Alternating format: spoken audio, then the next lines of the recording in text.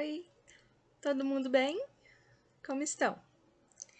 Gente, a gente vai falar hoje sobre a flor do pessegueiro. Sabe como ela chama? Amídalus.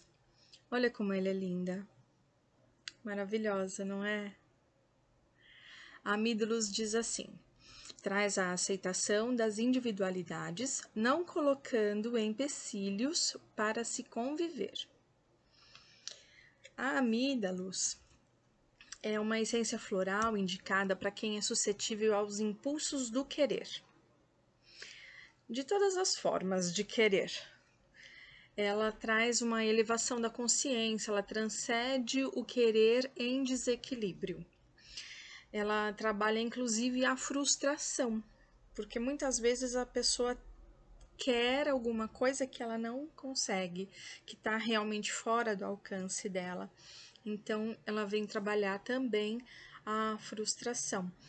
É, aumentando esse nível de consciência, então ela dá mais controle a esse desejo de possuir, de cobiça, né? E ela traz é, padrões mais elevados, né? Sentimentos mais elevados.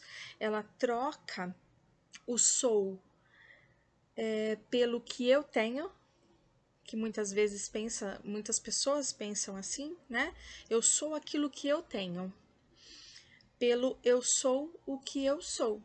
Então ela deixa de querer mostrar tudo aquilo que ela tem, principalmente hoje em dia nas redes sociais, né? Que as pessoas fazem questão de mostrar tudo o que tem, é, ou fingir que tem pelo próprio ego, né? Tem aquele ego forte, latente de querer e de mostrar o que tem, pelo eu sou o que eu sou, né? É, ela, com essa elevação de consciência, ela traz até mais tranquilidade para o nosso ser, porque não é fácil uma pessoa que tem esse ego, esse desejo de ficar se mostrando o tempo todo, é muito difícil, chega muitas vezes a ser dolorido, é, cansativo até, né? Imagina uma pessoa que precisa ficar, ela tem esse impulso o tempo todo de tem que fotografar, de tem que mostrar, de tem o que ter, muitas vezes se endivida para ter aquilo que ela simplesmente quer porque quer.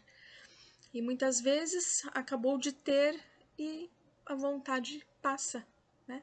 É só o querer pelo querer, realmente, né? Então, essa florzinha linda aqui, a amídalos, trabalha no chakra laríngeo, inclusive, né? Ajudando também no nosso expressar desse ego, dessa necessidade, dessa vontade de querer desenfreada. Tá bom? Por hoje é isso. Uma breve explicação sobre a amídalos. Obrigada pela companhia. Fiquem todos com Deus. Namastê.